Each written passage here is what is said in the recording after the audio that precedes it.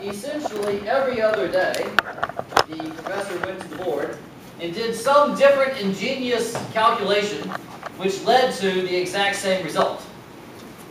I got so bored and tired of it until like three years later I realized how brilliant it was. Um, so the idea that we're going to do is an idea of, um, of the calculus of variations, which is a way of thinking about functions which is probably new to um, essentially all of you. So let's just sort of launch in, and I want you to, to be thinking about this a lot. Uh, this should be relatively confusing. Um,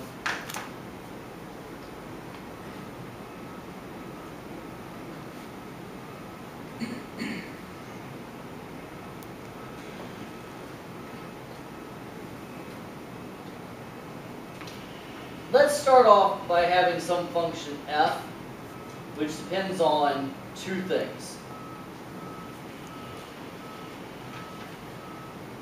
The slots, the, the two things that f depend on, I'm calling y and y prime. y here means y of x, some function. And y prime means dy dx.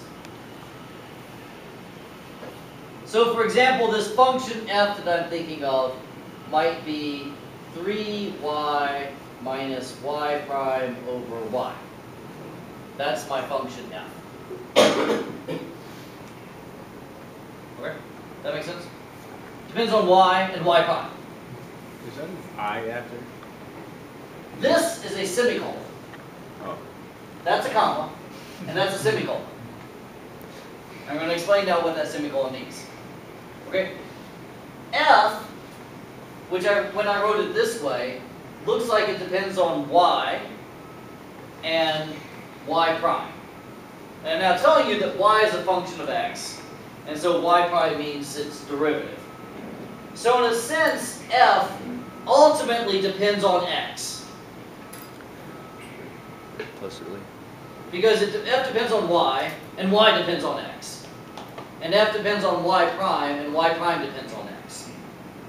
So ultimately, I give you a value of x, a value along the real line, and you compute the value of the function y, you compute the value of the function's derivative y prime. You take those two numbers, you stick them into f, and then you got a value for f. That make sense?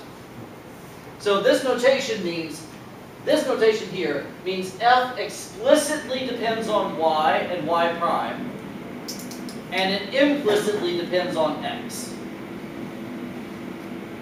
Okay, so when I write f down, I don't see any x's. I only see y's and y primes. I don't see any x's. The x's are buried inside of y of x. Okay, now there was a question. Yeah. So f is just a differential equation. Uh, no, f is just, well, f's, um, it's not a differential equation. It would be a differential equation if I said equal to a number. If I said f is equal to 2, that would be a differential equation. Okay. But right now, what I'm going to call f is a functional. Okay? I'm going to call f a functional.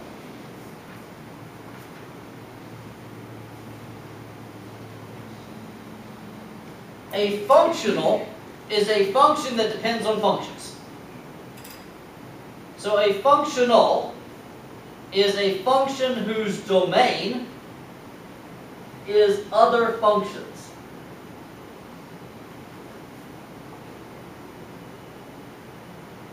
Now I've just said something tremendously complicated. Right?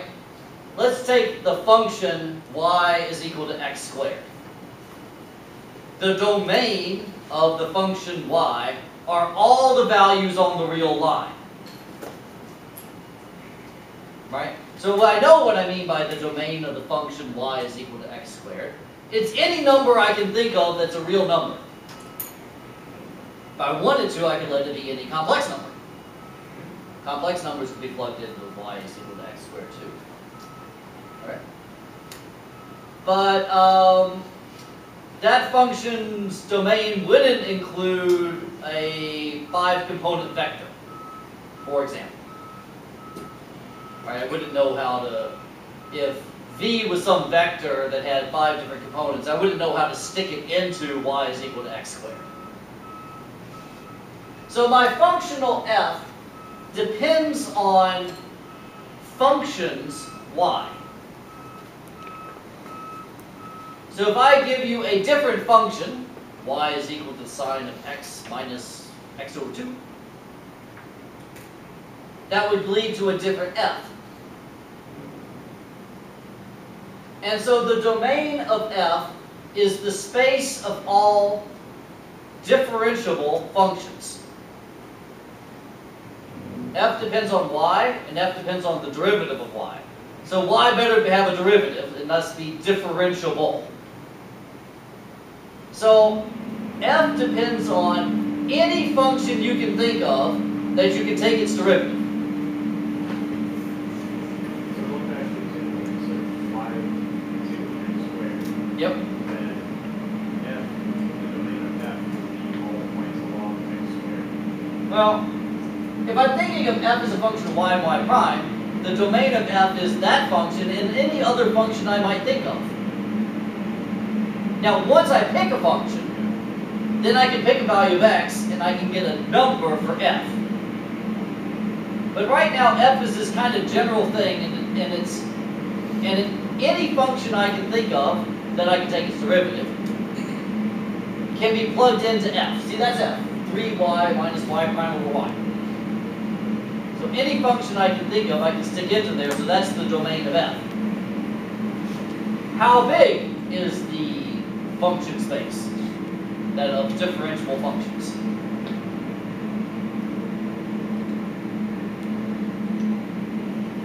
Depends on the function. It's infinitely big.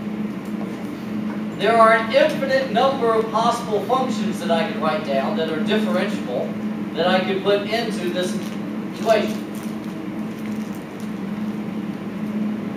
Those of you who've had quantum mechanics, has anybody had quantum mechanics yet?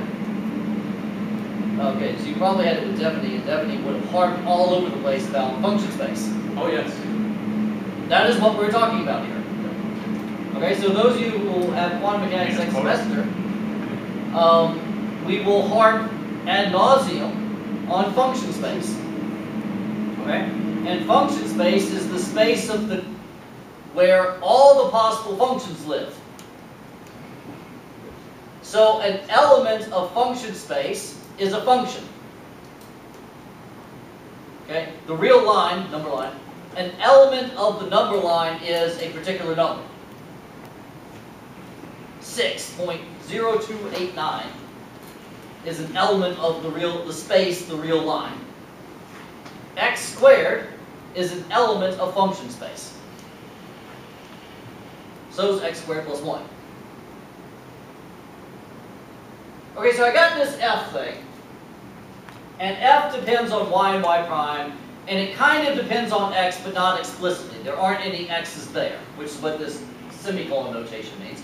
And I take f and I integrate it between x1 and x2, and I call that j. j is also a function. If I change the function y, I get a different value for j. But j is an explicit number. Notice here that once I pick a function y, I tell you what it is. I put it into f, I integrate it, and I get a number because I just did a definite integral. And the answer to doing a definite integral is a number. Right? So now there, I'm free to do all sorts of things. I'm free to pick different f's. Here's one. This one has no physical meaning. It's not interesting at all. Okay? And I'm free to pick different functions y. But once I tell you what f is, I say this is the one I'm going to think about now. And I tell you a particular function y, and I put it in there, I put it in there, I do the integral, I get a number of j. Does this make sense? Yeah. So J is not a functional, F is functional. J is sometimes also called a functional. Because ultimately, it depends on f. It depends on my choice of f, and it depends on my choice of y. So it's a functional too. It's kind of an uber functional. Okay. Okay. So you said that that F has no physical meaning. Yeah, this one choose, if we choose some F that has some physical meaning, we could get something useful. Yes, and in fact, we will do so.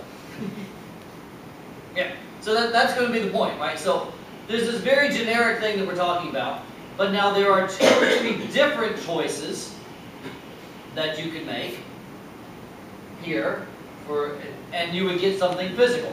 For example, um, you can, um, choose a function f that when you integrate it tells you how far it is between two different places on a given surface. We'll do that example in a little bit.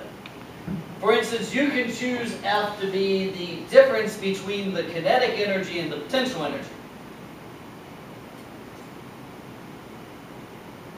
You might choose it to be the sum. If you choose it to be the sum, you don't get anything that's interesting. But if you choose F to be the difference between the kinetic energy and the potential energy, then when you do what we're going to do next, you get out of the result of that something equivalent to Newton's second law. Alright, so we have to see all this stuff play out. This was used for finding the distance, between two points on a surface. Yeah, so I might use it for finding the distance between two points on a surface. That's one application. Is it the minimum distance? Uh, I haven't gotten there yet. Alright, so, um, a given, if I pick a y of x, it would tell me the distance along a given path between two points on a surface. And what this, what I'm going to do next will help me figure out which path is the shortest. Alright, but so that's where I'm going, that's, that's, that's where we're going next. Alright, so that, that, that brings up what we, um, want to think about here. So, I'm going to do something somewhat insane looking.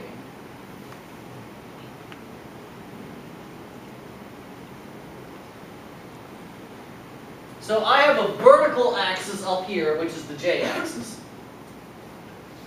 And down here, I have an infinite dimensional function space, which I denoted by having many axes down in this direction. I only drew some of them. Okay? So a point down here is maybe y equals x squared.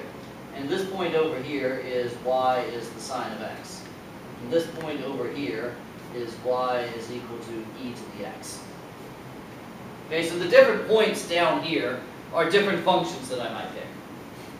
When I pick a function, y of x, I stick it into this integral. I take its derivative, I stick it into the integral. And I get a number. So I could then plot the height, the value of j, for each one of these places. That make sense? So I have here in mind that I have some sort of surface up here. You know, here's my surface. These are the values of j given a particular choice of function. Pick x squared, j is equal to 3. I pick e to the x, j is equal to 5 million. I pick, you know, so I pick a function, I do this integral, I get number. Good? So, like, we're not gonna do f as all those together, it would just be like f of x squared, comma, two x. Exactly. Alright. And whatever f is. So, you know, if f was 3y minus y, so I would stick that in, I'd integrate that, I get a number. Doesn't J depend on the boundary conditions of that definite interval? Yeah, it depends on x1 and x2. So if I choose different ones, it would be different Yeah, so this, it would shift, right? So if I choose different x1 and x2, the surface would shift. If I chose a different function f, the surface would shift. Right? But what I'm trying to represent here is that the domain is all the functions. And when I pick a function and put it into the integral, I get a number, and so I have a surface up here. And my surface might have a minimum, or maximum, it might have a local extremum. In other words, there might be a place on this surface where the value of j is locally bigger than any other place or any other function, or locally smaller than any other function. So there might be a particular function that when you stick into this interval, you get negative 2. And any other function you choose is more, when you stick it into the interval, gives you more than negative 2. The negative 2 would be a minima of this interval j.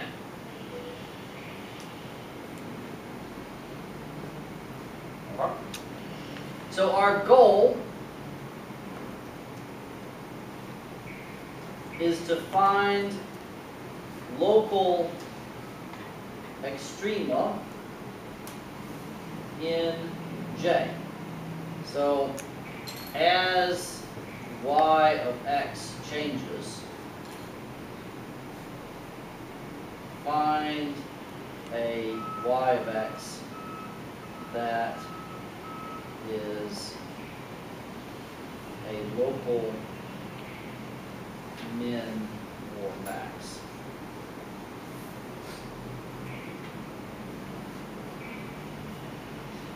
That's what I'm trying to do.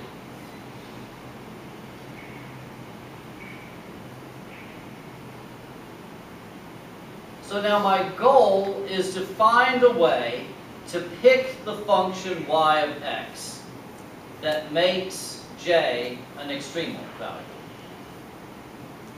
Right, I'll say that slowly again because that's got to sort of sink in. The goal is to find the function, find a way to find the function. I want to have a rule which tells me how to find the function y of x such that j is either maximized or minimized when I vary that function a little bit. So if I multiplied the function by 1.02 or subtracted 0.03 from it, or did something that made it slightly different from what it is now, it would make the value of j bigger or smaller than that minimum or maximum value. Okay? You okay with that? Alright. Uh, notation.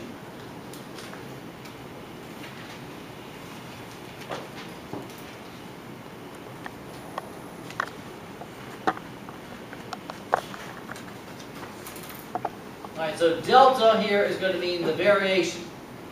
So I'm going to say delta of g means the variation in g. The variation just means how much does it change. It's not, not a deep idea, just how much does it change. If g is a function of x, the variation in g is defined to be the derivative of g with respect to x times the variation in x. It's kind of like the differential d. You can say that, you know, dg is, would be derivative of g with respect to x dx, but you use the sign variation because it's slightly technically different in some precise mathematical sense, which isn't important to what we're talking about. So this is the variation. Okay, folks okay with that? Just the derivative of g with respect to x. times delta x. Yeah, so, uh, and you think about what that means, let's suppose you got some function here, here's g of x, right? Delta x is some distance down here. Um, delta g is some distance over there. And there's some slope here, and the slope here is dg dx. And so the little tiny change in g is the slope of the function times the little tiny change in x, is what we're, what we're saying. Now the point here is that what we want to do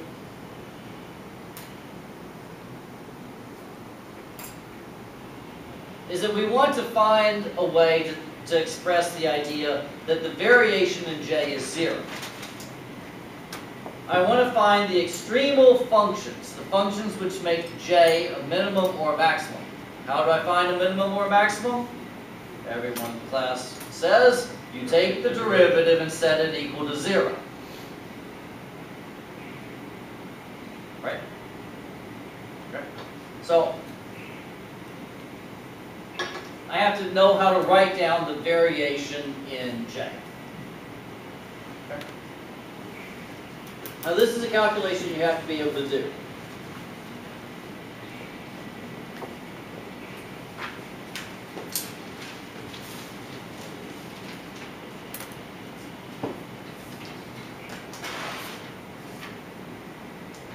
So, this is in the book, it's in the lecture notes, we're gonna go through it again now.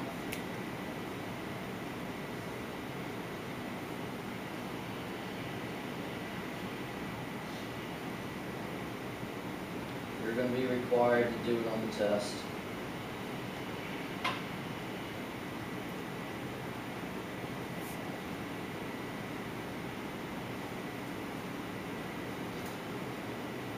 Okay? So I take the variation of both sides, I have the variation of the integral. If the endpoints are fixed in a definite integral, you can always pass a derivative inside the integration.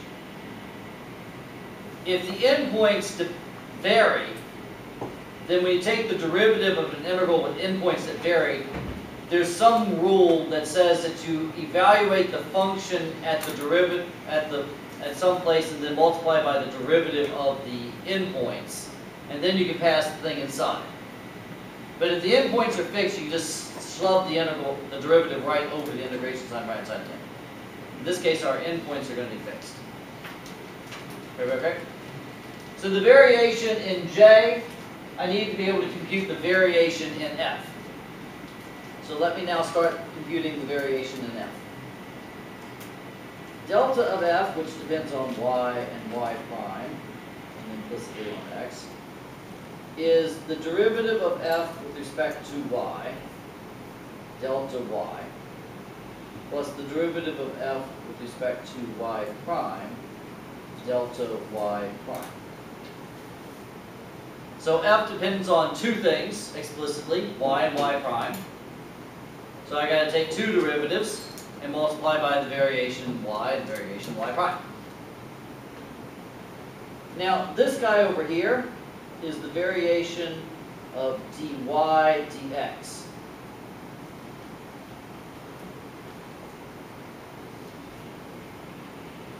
Which is d by dx of the variation of y. Because variations are like derivatives and the order doesn't matter. So taking a variation of a derivative is the same thing as taking the derivative of a variation. Order there doesn't matter. Those two.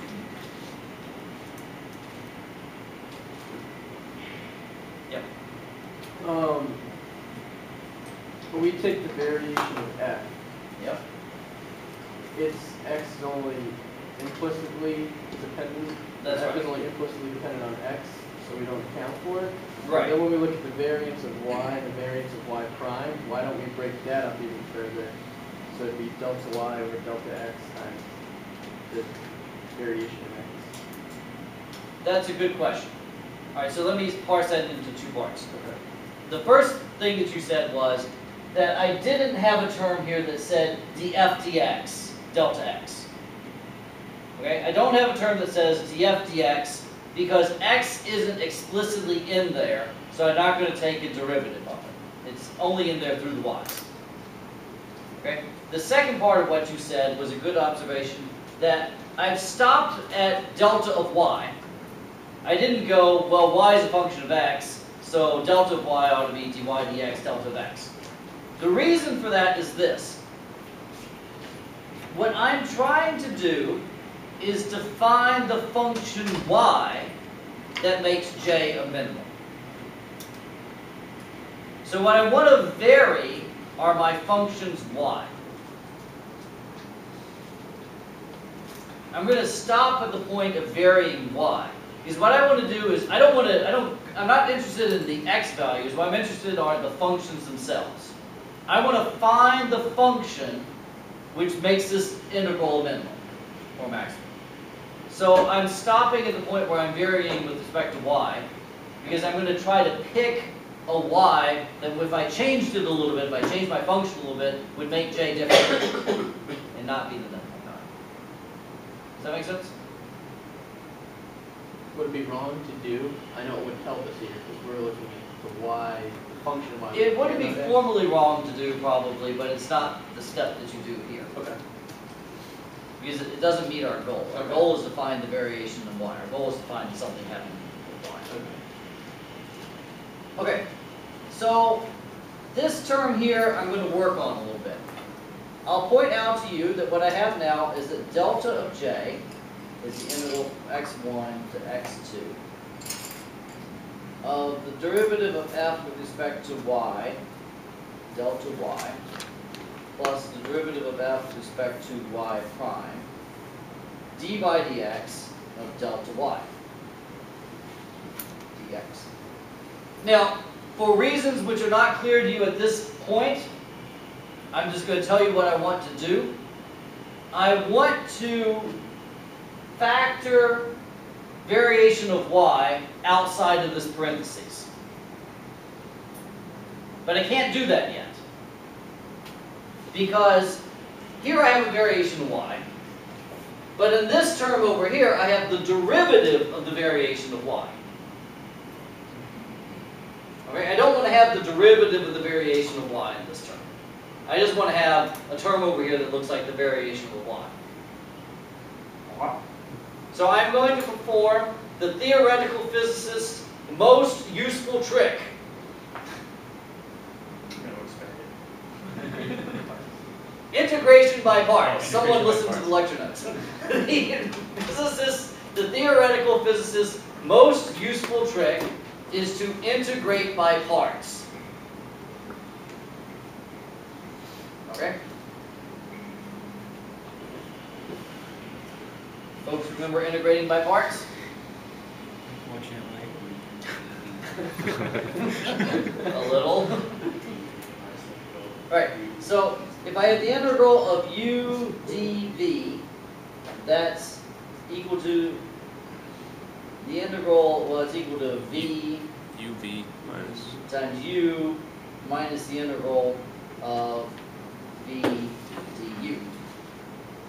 Everybody knows how to derive that, the chain, or product will backwards. Yes, look, you know, if you take the integral of d of vu, that's the integral of v du plus the integral of u dv.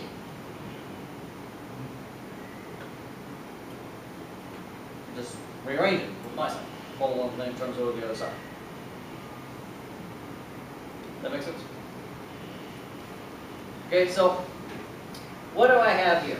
I have the integral of the derivative of f with respect to y prime, d by dx of delta of y dx. Well, that's going to be equal to derivative of f with respect to y prime, delta of y, minus the integral of delta of y times d by dx of the derivative of f with respect to y prime, one other, or dx. Alright, so that's integrating by parts.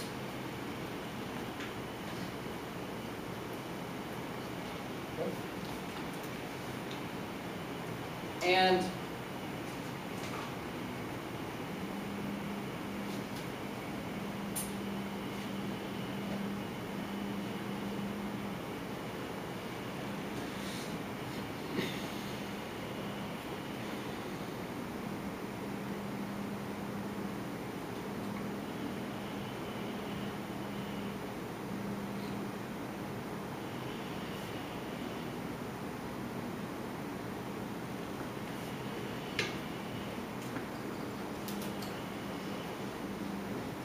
Alright, let's go back to the game that we're playing here.